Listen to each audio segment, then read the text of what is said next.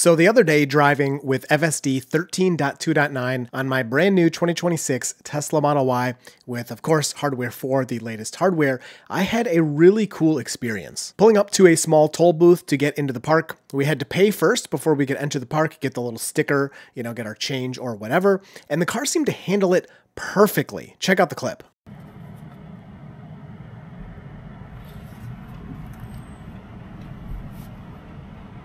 Hello. Hello? For today? Yeah. What's your zip code? It's still FSD. Stick that right on your windshield. Have a good one. Great, thank you. What the heck? Now, once the woman at the toll booth said, Have a good day, and I said, Thank you, FSD started to pull away, like in sync with me saying thank you. It very slowly moved forward. I did move my foot over to the accelerator because, again, I did not think FSD would be able to handle this. But if you watch the clip, you can see the car starts moving before my foot has moved over to the accelerator. I did nothing in this entire interaction, and I was pretty blown away. I was very surprised that this worked. So, of course, with these types of clips, what I did is I posted it to X. I said, Yo, check this out, everybody. Here's a cool clip of FSD doing something interesting. And it got reposted by Elon Musk and by Tesla and by Tesla AI, lots of different accounts. But the best part because I didn't know if this was just a coincidence or it actually had this ability or what was going on. The best part of all this attention is that Ashok, who is leading AI at Tesla, responded with an explanation saying that this is something the car is capable of handling. He said it can see the transaction happening using the repeater and pillar cameras, hence FSD proceeds on its own when the transaction is complete. Now that is pretty crazy and pretty mind-blowing, and I was very excited. What a cool moment. Not even something we knew FSD could do. FSD has not received a software update in many, many months, Tesla has been focusing on robotaxi. But this reminded me of something. And maybe if you've been watching for a while, you'll remember this. I had a video long ago where FSD, this was many versions ago, a different car and everything, uh, but FSD went to stop for a pedestrian that looked like they were going to cross the street. Now, they were not at a crosswalk, and so they technically weren't supposed to, you know, jump in front of us. But FSD is very cautious, and it slowed to a stop for this pedestrian. Well, as it stopped, the pedestrian waved us ahead, saying like, nah, go ahead, I'm going to, you know, walk the street after you pass me. And in this scenario, seemingly in response to the person waving us ahead, FSD slowly proceeded to go. And I got very excited because I said, whoa, it looks like FSD responded to that person waving us ahead. Is this an ability that FSD has? Now, I didn't say for sure that it had that ability or something FSD could handle because I didn't know. But the timing of the hand wave and FSD proceeding right as they waved their hand was very close. And so it seemed as if the car was responding to their hand wave. Well, I posted that to X as I post lots of different clips over there of FSD doing things. And the official Tesla account actually quote posted it saying, you know, FSD has this ability. I don't remember, it was a while ago. I'll try to find the picture um, and post it here. But basically, the official Tesla account said something about FSD being smart, reacting to pedestrians or hand signals or something along those lines. Now, it's different because the official Tesla account seems to be more of like, you know, a PR kind of thing or like, hey, check out our stuff. This wasn't the actual head of FSD or autopilot or AI at Tesla giving us a concrete explanation. It was just kind of like, hey, check out this cool moment. The cars can do this thing. So after this, there was a lot of speculation all over uh, Twitter or X about whether FSD can respond to hand signals or whatever. Everybody was trying things. So me and Stephanie went out and we made an entire video testing if FSD could respond to hand signals using Stephanie as a pedestrian, and I was uh, driving FSD and seeing if it would respond to her waving us along or whatever. And long story short, it turns out it did not seem FSD could actually respond to the hand signals very well. There were a few, you know, of course, that looked okay, uh, but other people and myself and Stephanie included kind of found like it doesn't really respond to hand signals. So I don't know if this was like a mistake on Tesla's part or what's going on. So fast forward to today where we have this much more complex interaction that was much more difficult to like get lucky with because there were so many steps in the transaction and handing the money over, getting money back, you know, with a little sticker uh, saying "Have a good day," taking off at the correct time. Uh, this seemed like okay, this is probably something the cars can are capable of.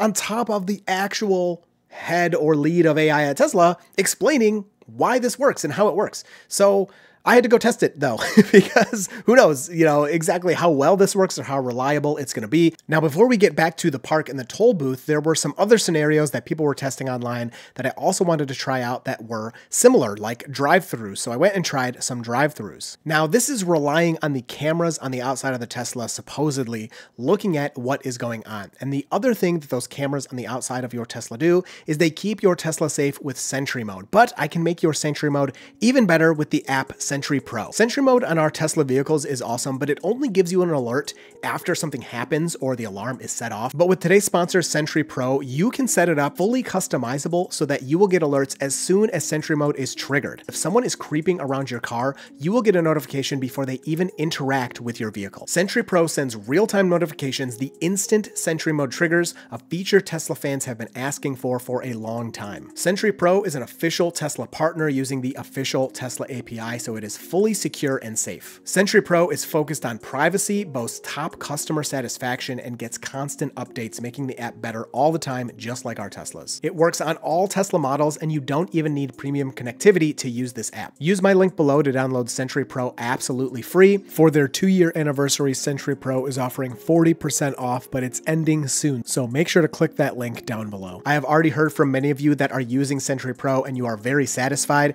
Sentry Pro also has tons of great reviews, so make sure you read those from third party sources as well. I definitely suggest you give it a try for free. Use that link down below. Thank you so much to Sentry Pro for sponsoring this video. Now, pulling up to our first challenge here, I put in McDonald's just to see how FSD would handle the drive through. So, to my surprise, we went straight into McDonald's and we pulled into the drive through line. I wouldn't even blame FSD for parking somewhere or not going in the drive through line because there's no way to tell it exactly what we're doing. Uh, but it did happen to just take us directly into the first drive through line. Now, technically, it could have made a better decision here by going into the second line where there were less vehicles, but no big deal. Getting to this position at all, I was still pretty impressed. Now, we did have to wait for a while, but FSD seemed pretty patient and it pulled forward every time it was able to do so. Older versions of FSD, when you would kind of sit for a long time and wait, they seemed to kind of get stuck. So you could pull forward, but even when the car in front of you fully pulled away, FSD just wouldn't move until you hit the accelerator pedal. So it does seem to be getting better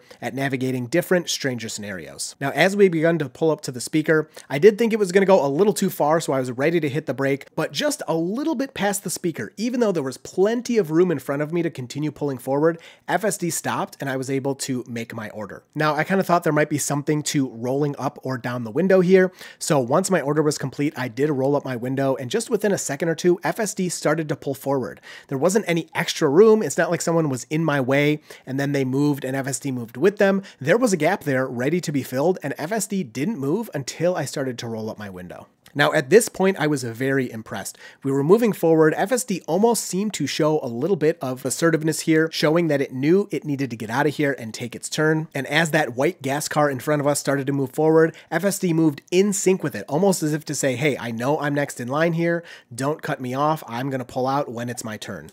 Now at this point, I am pretty impressed. There are enough vehicles around that maybe they're kind of keeping us in our place for me to do what I need to do long enough, but at the same time, there were big gaps in front of us that earlier in this little drive-through experiment, FSD was closing those gaps, and now we are waiting for what we need to do, and then asserting ourselves when we don't need to be doing anything like talking into the speaker. But here, unfortunately, is where the experiment fails. We go up to the first window to pay, and it seems like FSD is gonna drive right by. So even though I had the window down, down. I kind of was ready there with my credit card to hand it to the person. Uh, FSD was just going to blow right by that window and was not going to let me pay. So in this scenario, at least, it didn't know what to do in this drive through. I tried to give it another chance in the next window. I turned FSD back on, but again, unfortunately, it was just going to blow right past that window. So I had to take over so that I could get my food. But I couldn't leave it at that. I had to try one more time in the same area just to see if it could do any better or behave differently. And the second time, to my surprise, the lineup with the drive-through speaker was actually perfect. FSD seemed to pull up perfectly to the speaker and not pull forward, even though there was still a little bit of a gap ahead of us. Now, unfortunately, once the white pickup truck in front of us started to drive away, FSD decided it was time to go. It didn't care that I was still talking and making my order, so I had to hit the brake here again. Now, along with that, it seems like the problems continue to pile upon themselves themselves, and FSD is not assertive enough in this next run to make it out without getting cut off. And I actually, for the next car, had to press the accelerator because people were just going to keep taking our spot, even though we were supposed to be next in line. Now, as this blue truck pulled up, it was pretty obvious that it was my turn to enter the line, but I did notice he had a warning I have a problem with liberal sticker on the back of his truck, so he probably saw the Tesla and got very angry, and he really needed his McDonald's to make himself feel better. Back again. Yes, I did come back a second time, and unfortunately, both of these drive through windows again did not work. So we can see FSD is not working in the drive through. Not really a surprise to me. I didn't think it would work, but I had to try it because this is very similar to the toll booth scenario if the cameras are kind of seeing a transaction. But we couldn't stop there. What if a different drive through setup was actually better for FSD and it could handle a different drive through? So we headed over to Wendy's, and FSD initially parked us pretty nicely, but in a handicap spot. I'll give it a point there. It doesn't know if I have a handicap pass or not, and it did park us very nicely in that spot. And again, there's no way to say, like, hey, I'm going through the drive through here. So I will give it a point for parking parking us at our destination. And this is where the fun ended because I did have to direct it to the speaker to make my order. Again, there's no way to tell FSD that I want to go through a drive through, so I don't really care that I had to line it up with the speaker. But as we approached the speaker, the car was just going to drive past it, and I didn't want to buy anything else. So I just ended up taking off from there because obviously this experiment isn't working. Now, heading back to the toll booth, last time it was perfect. I just couldn't believe how well it lined up with have a good day, thank you, rolling up the window, taking off. And so I had to try it again. So on this this attempt, I took my wife's 2023 Model Y that also has hardware 4, but she has the yearly pass in the windshield now. So we do need to stop at the booth so they can scan the barcode that is on the windshield, but I don't need to pay, I don't need to get change or get my credit card back or anything. And FSD again seemed to handle this really well. It slowly pulls up to the toll booth, stops a little bit too far, but it does stop where it needs to stop. The barcode is scanned, and as the attendant backs away from the vehicle, FSD then slowly pulls forward. So another success on this run. Now back into my 2026 Tesla Model Y where I actually have to give money or a credit card. We go to pull up to the toll booth. It does a beautiful stop right exactly where it's supposed to. And I start to talk to the toll booth attendant, and then FSD decides, all right, that's enough of that, and starts to take off. So I did have to hit the brake, and it was not able to successfully stop and wait for me this attempt. But we can't leave it at that. So so I went back and I tried it again. This is actually on a different day. I'm trying to just try a bunch of different scenarios here and we make a perfect stop again. So at least part of this interaction with a toll booth is working really well. The car is able to very safely pull up to the toll booth, stop pretty much exactly where it needs to and wait at least for a second. So I told the toll booth attendant, I don't actually want to come to the park. I don't want to pay. Uh, I'm just going to turn around, but I'm testing my self-driving car. He seemed to think that was pretty interesting. So he helped me with the experiment by taking my credit card, handing it back. He actually even stepped away into the booth because FSD didn't seem to want to leave. It pulled up to the booth nicely, and when I said thank you and we were done with the transaction, the card just sat there. And again, how's it going to know exactly when we're done with the transaction? I handed him my credit card and got it back. Maybe there's something else I need to do. At this point, FSD just continued to wait. He offered to move back actually and sit down, so he moved away from the car. I then rolled up my window, and FSD just did not want to move. Now, it could have been because of these workers who were nearby. The utility van right there was kind of throwing the car off, uh, but unfortunately, FSD sat there and did not move. Now, I got to say, this is the behavior I would actually want out of FSD. I would like for it to go to the toll booth and stop. When it's not moving, I can then confirm either on the screen or at the accelerator pedal, like, okay, transaction's done, go ahead and take us. So that is what I did. I touched the accelerator pedal for just a second, and then the car did continue to drive. So what does this all mean? I'm here to give you information and share my experiences and facts with you. So I will let you make your own conclusions uh, down in the comment section.